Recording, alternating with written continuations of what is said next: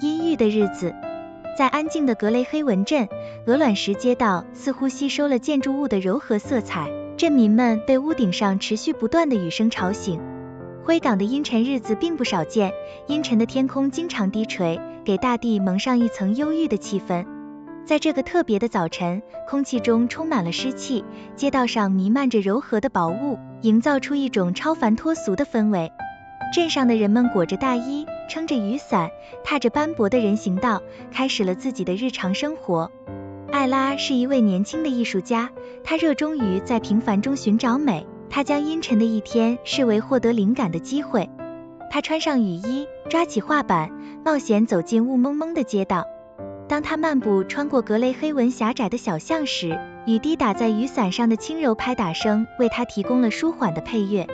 当艾拉漫步穿过城镇广场时，他注意到当地的一家面包店，窗户上装饰着露珠，折射着柔和的光线，里面温暖的光芒召唤着新鲜出炉的食物，肉桂和现煮咖啡的香味飘散在潮湿的空气中，与灰色的环境形成鲜明的对比。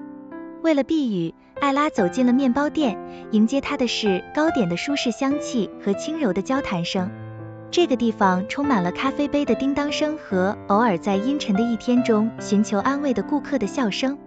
他坐在角落的桌子上，勾勒出眼前的景象：摇曳的烛光，杯子里升起的蒸汽，以及在阴暗中寻找温暖和陪伴的人们的脸。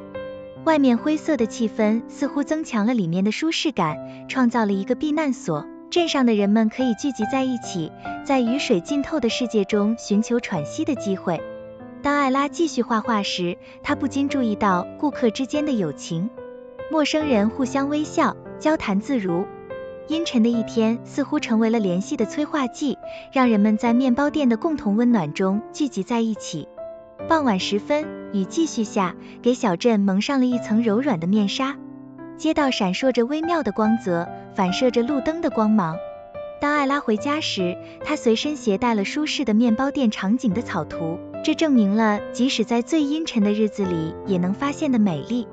格雷黑文似乎有办法把沉闷变成一种奇怪的安慰。